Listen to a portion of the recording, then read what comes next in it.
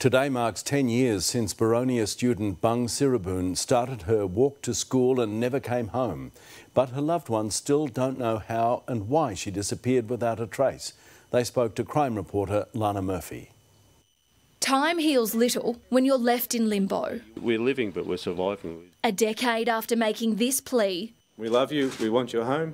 Fred Patterson is still in the dark. When are we going to find out something? When's she going to come back? When are we going to get some news? He believes his stepdaughter, Bung Siriboon, is still alive, but homicide detectives say the 13 year old was abducted and likely murdered. On Thursday, June 2, 2011, Bung left her Elsie Street home to walk to school around 8.30am. She passed at least one neighbour. Another claims they saw her 100 metres from the school gate, but she never made it to class.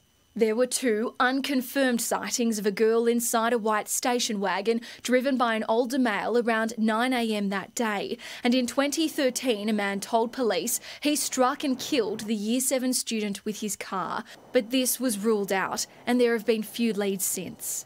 Just hoping someone will come forward.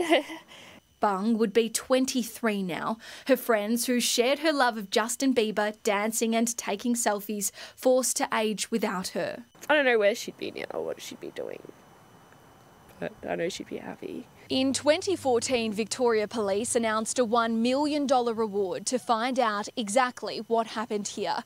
That still stands today, and investigators are hopeful it will entice someone who's been holding a dark secret for far too long. It's time to give us something. Let us start living again. Lana Murphy, 9 News.